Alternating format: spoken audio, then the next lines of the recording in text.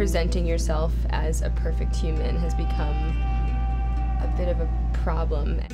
I love the idea that the whole issue is not retouched. I think it's important to represent true beauty, true femininity. I think it's really important for other people to see and also for people being photographed to feel like we're good enough the way we are. Being human is beautiful. I'm Zoe Kravitz. Welcome to my Harper's Bazaar cover shoot.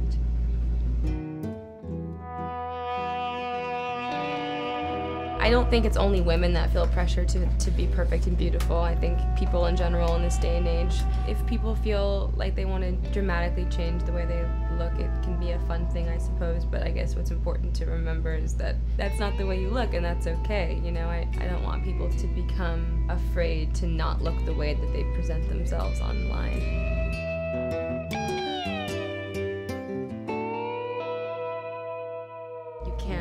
Really cover everything up. You know, I think makeup is fun, but it should be to highlight the things you love about yourself, not to cover yourself up. So it's important to eat well and get rest and, yeah, take care of your body and your skin so that you can highlight things you love instead of trying to cover it all up. What I would like is for people to love me and accept me the way that I am. So even if I'm being hard on myself about the way I look or feel, then have to remember that it's it's really important to be an example of someone who uh, allows themselves to be imperfect.